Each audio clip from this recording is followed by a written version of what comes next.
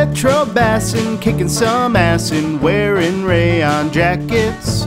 Thinking about Bill Dance, watching these fish prance. Ho ho ho! Merry Christmas and welcome to Retro Bassin. Today on Retro Bassin, Santa Retro is giving away this genuine old school tackle box and everything that's inside. Stick around. I don't know if I look like Santa Claus or a hobo fisherman. Ooh. How is everybody doing this fine holiday season?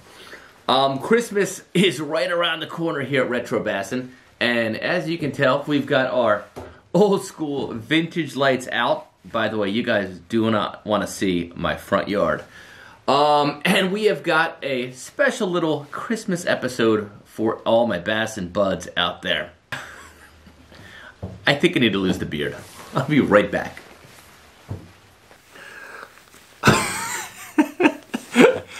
Welcome to Retro Bassin. Today on Retro Bassin, we are doing a special holiday giveaway. At the end of this video, I will describe how you enter to win this vintage tackle box and everything that's inside. By the way, if this is your first time here at Retro Bassin and you like to fish it old school, I'm talking about classic rods, reels, lures, and equipment from the golden era of bass fishing. Stick around, consider subscribing, and be sure to hit that bell icon. Otherwise, you won't know when we post a new video like this one. So, coincidentally, or, or maybe not so much, but this Christmas episode of Retro Bassin happens to coincide with the two-year anniversary of this channel. Um, it has been uh, a pretty wild couple of years. Uh, we've had a blast making videos for you guys, and honestly, I've had a blast rekindling a part of my childhood that uh, I'd forgotten a little bit, uh, to be honest. So what we're going to do today is a couple things. Uh, first off, I, I, do want to uh, give a sincere thanks to all of the great subscribers and viewers out there. There are too many to name in the comment section, but it is uh, by far one of the greatest parts of this channel, in my opinion, are the great comments that we have down in the Retro Bassin comment section. I don't profess to be an expert at all things old school. I just happen to be a tackle junkie and I love that era of bass fishing. But if you are watching a Retro Bassin video uh, and you do scroll down to the comments section, uh, rest assured you're going to get way more information than you'll get in the videos alone. In addition to all the great subscribers and commenters at Retro Bassin, there are several fishing YouTube channels that um, honestly, they always stop by here. They've always got something great to say. And now, um, at our tier anniversary, I do want to give thanks and, and give a couple shout outs to some channels that I think you guys should check out. Uh, always, I see him on Instagram and comments every single video is Big John's Life. He's a local Texas guy who does a ton of cool stuff in a kayak. And he and I have not fished together yet, but hopefully next time I'm out in East Texas, we will. Got a couple of Florida guys I have to give shout outs to. One of them is Ted Lincoln's Fishing Life, and the other is Small Water Charters. Um, both channels, those guys pull in some donkeys from the swamps of Florida, and next time I'm out that way, I definitely plan to catch up with both of them. Punch Fishing, uh, follow him on Instagram and also YouTube as well. Uh, another great dude who puts out a ton of really good rod and reel reviews. Fish ATX, a channel that you all should definitely check out. Um, he has actually been a huge help to me in finding some spots. As you guys know, I'm not a Texas local, um, but he has put me on the fish more than once. So go check out Fish ATX. And last but not least, there's a brand new channel. One of my favorite guys to follow on Instagram is a guy by the name of Big Minnow Mike. You talk about old school tackle junkie. I'm pretty sure that he and I have gotten into some eBay wars over the years. Um, but he just started a YouTube channel. So I think at last count, he's got like 11 subscribers. He just started this channel. So I will drop a link to him down below. Definitely head over and light him up. Thank you guys, fellow YouTube bass fishermen, for all the support and love. Um, I hope to fish with all of you real soon. But now, let's talk about this, this tackle box. So, I was trying to think of a, a unique and very retro way to give back um, to the Retro Bassin Bass and Bud family. And I can think of no better way than to fill up an old school tackle box with some vintage and discontinued lures and send it to the winner. Okay, so let us dive in to this old school tackle box chock full of some retro goodies. So first things first, the box itself, it is an old pal Woodstream and the model number is 1050. So check it out. Let's see what's inside. When I loaded this tackle box up, I made it a mix of some old school lures that we have featured on Retro Bassin and some lures that I hope to feature in the near future. So first things first, we'll start off at the top.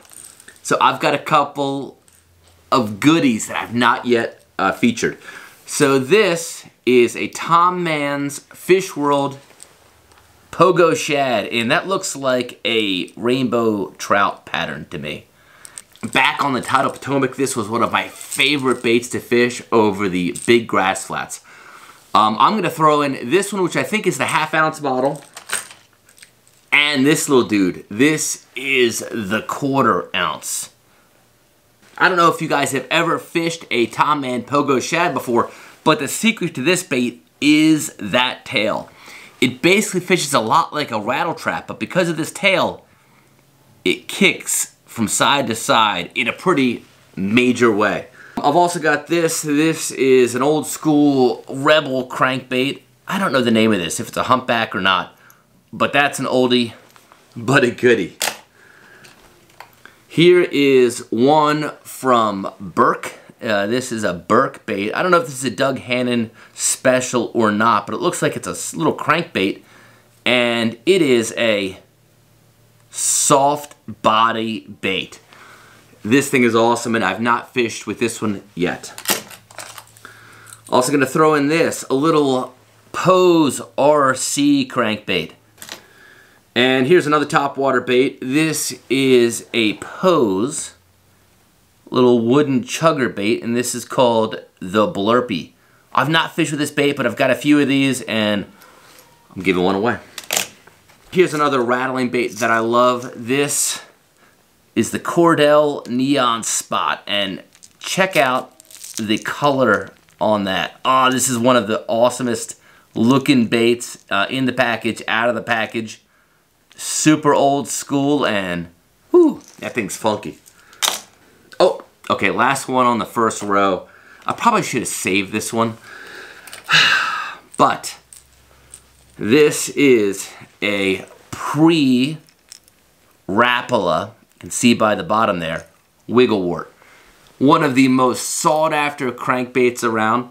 So this is before um, Rapala bought Storm, when the baits had that funky lip that made them hunt super radically. And honestly, that's probably not a terrible color either. That's not like what they would call a, uh, a repaint.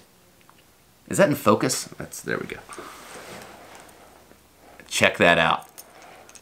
And there's that lip. Look at that thing. Ah. Okay, coming across the bottom here. this is a funky spoon. This is a another Tom Mann creation. He partnered up with uh, Flying Lure and developed a spoon. And the way this thing works is it's supposed to glide under uh, the water. I've got a doc episode planned with this thing I've not executed yet, but y'all are going to get one of these, the Tom Mann Fish World Flying Lure Spoon. I know, super random. Ooh. So everyone knows about the Heddon mouse. Well, here's the Zara mouse. This is a top water bait in the shape of a mouse. It's got a little little mouse tail there, a single hook, and honestly, I I don't know how that thing would ever hook a bass, um, but maybe it will. So let me know. Um, that'll be in there. Uh, another Poe's crankbait. This is a little uh, super cedar in sort of a black metal flake color. Here are a couple uh, more Tom Mann lures. Here is a crankbait. This is an old man's crankbait. And a minnow bait as well. So I don't know if these are called the bullfin. I think they might be.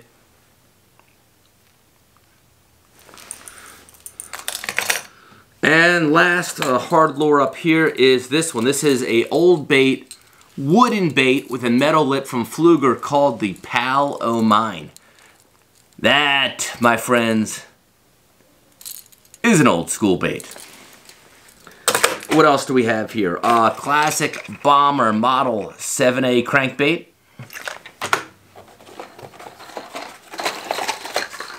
Bill Norman DT22 coming at you. I did one of my first episodes was on the Pico Perch, an old school bait that used to be built out in Corpus Christi, Texas. Pico is now back in action. They are re-releasing all their old baits, and this is one of them. So this is a reissue version of the old Pico Perch. So if you've watched my first ever episode of Retro Bassin', I talk about the first bass I ever caught. It was in a farm pond by the name of Buckskin Lake, and it was on this bait, the classic Strike King Grass Frog. This was the junior, but hey. Speaking of Strike King, you're gonna get this, an old school spinner bait from Strike King. That skirt has seen better days, but you could replace it or just leave it in the pack. I'm obviously a bit of a geek for Mr. Tom Mann. I'm gonna get this, a set of big old jelly worms. Recent episode you saw on the uh, Virgil Ward Bass Buster line. So I'm gonna throw in a couple things here from Bass Buster. We've got this, the heavy head beetle spin. Just a straight up beetle. And this other one from Bass Buster that I've not featured yet, but I plan to. The Bass Buster Chum and Worm. it says it tastes alive. Oh, and I'm also going to throw in this, a new school version of the Beetle Spin. I love that bait. I'm totally going to start fishing with this more often after that episode. I have not featured this bait yet, but I definitely want to next summer during worming season. And this is a nice 8-inch Rebel ringworm. Back in worms used to come like on a card, which is awesome. Oh, this is uh, from an old episode. So I caught probably my nicest bass of 2020 on this bait, the Butch Harris worm. It's a three pack of 8-inch green worms. And by the way, I just love the packaging on this thing. Look at that. oh, here's another one from another episode. Uh, this is one of the, I think we did one of our pond episodes. I caught a nice little fish on this, the Bud and Marv Seeker Worm. So there you go. Gonna get a new pack of Bud and Marv's Seeker Worms. It's actually a nice little, kind of funky colored, I guess that's a six inch worm. Um, okay, uh, last one. I think one of the um, favorite episodes that I personally filmed was the Dr. Loren Hill tribute color selector episode. So you're gonna get this, a pack of Rebel Rednecks in one of the color selected colors. So there you go. And there's Dr. Loren Hill on the back doing his bass color experiments.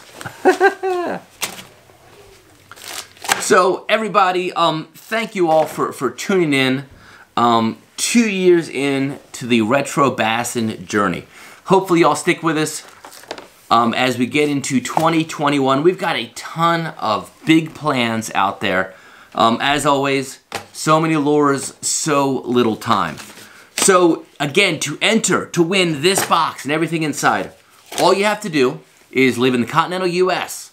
Drop a comment down below and be sure to follow me both on YouTube and Instagram. From there, in one week's time after posting this video, I will pick a winner at random and I will list that winner as a pinned comment in this video. So best of luck. I hope you all have a Merry Christmas. So until next time, keep those bells a jingling and definitely Fishing old school. Fishing it old school, this old stuff rules. Welcome to Retro Bassin.